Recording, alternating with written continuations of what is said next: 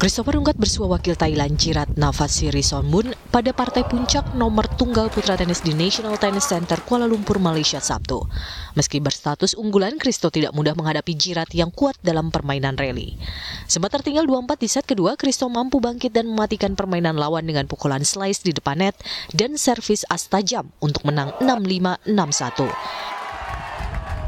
Uh, uh, yang pasti ya tadi memang ada ada sedikit uh, celah di mana dia uh, kebawa emosi. Tapi saya coba untuk stay calm, coba untuk stay point per point dan dan akhirnya set kedua tadi bisa membuahkan hasil, bisa break back terus bisa menutup di servis 5-4 tadi. Ini merupakan emas kedua Kristo di SEA Games untuk kategori tunggal putra setelah diraih terakhir kali pada 2011.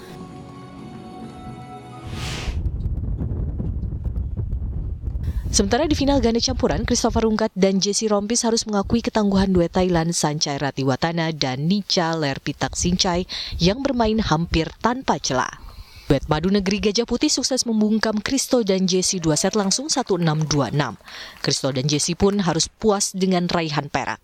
Raihan satu emas dan satu perak memang tidak memenuhi target PPPLT, yaitu dua emas.